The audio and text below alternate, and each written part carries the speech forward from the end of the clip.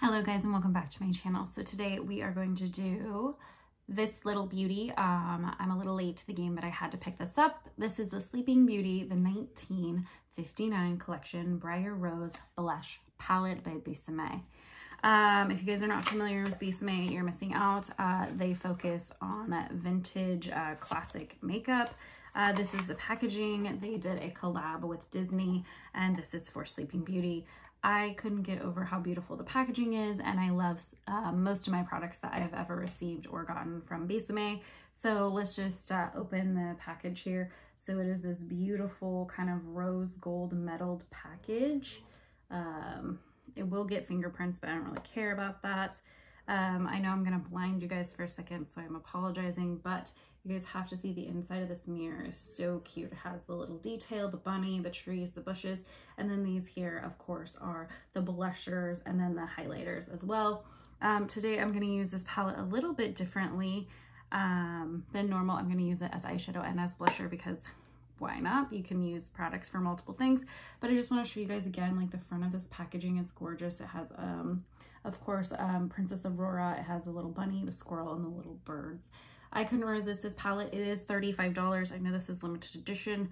I'm not sure at the timing of this video if you guys are able to still pick this up, but um, I did, and I'm so glad that I did.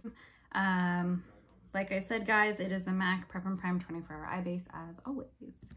I'm gonna start this little look off with, let's use our Luxie uh, 237 blending brush. I am to go into this, um, let's see, let's show you guys if I can as well. I'm to go into this lighter pink here, which these are blush shades, but you can use any shade that you want um, that is a pressed powder on your eyes for the most part. Um, be aware that sometimes because they're pressed pigments, it will cause staining or irritation.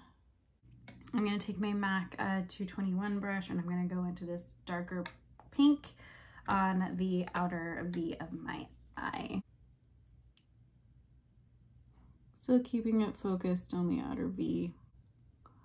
Just taking that original brush, kind of cleaning up, making it look a little more blended, right? Okay, so then I'm going to take a flat synthetic brush, doesn't matter which one you guys have, and then I'm going to go into this um, highlighter shade down here, and then I'm gonna pack that on top of it as well. So now we're going to do the cheeks. I already have um, my contour on. I'm gonna go in with my trusty blush brush. You guys use whatever you like. I'm gonna start with this brighter pink. I like to start slow. Um, these build up pretty quickly, so I like my blush a little more dramatic. Keep that in mind. If you don't like your blush as dramatic, then just use less. Then I like to go, after I did that dark pink, then I'm going to do the light pink on top, just because it adds a little bit of a different hue to the blush. So pretty with that extra little pop. Then I like to take my highlighter brush and then I'm going to go with um, this shade here, and then I'm going to do that as well.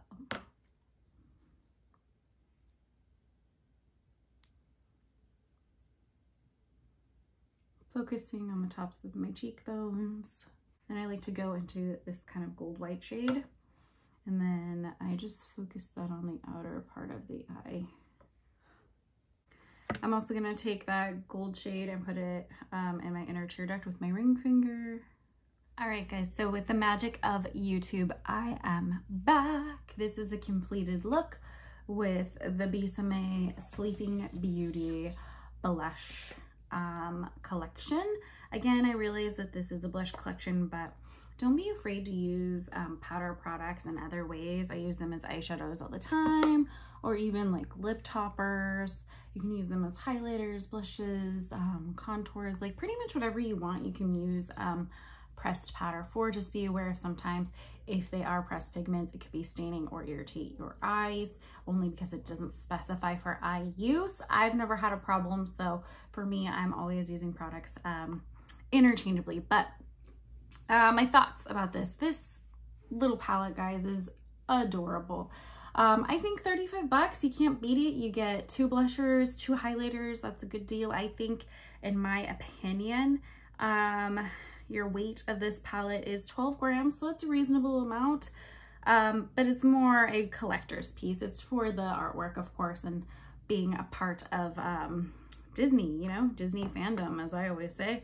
And this mirror, I know I'm blinding you guys one more time, but it's just so darn cute. Um, and then we'll show you the palette one more time here, the blusher highlighter palette.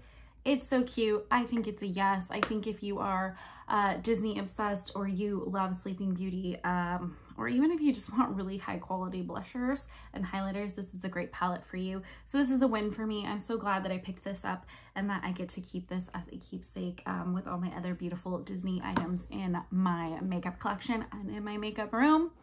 As always, guys, thank you so much for watching my videos. I really do appreciate it please remember to like, comment, subscribe, hit that notification bell. I post a new video every Tuesday and uh, in my description box will always be my Instagram for daily posts and my website and I'll catch you guys on the next one.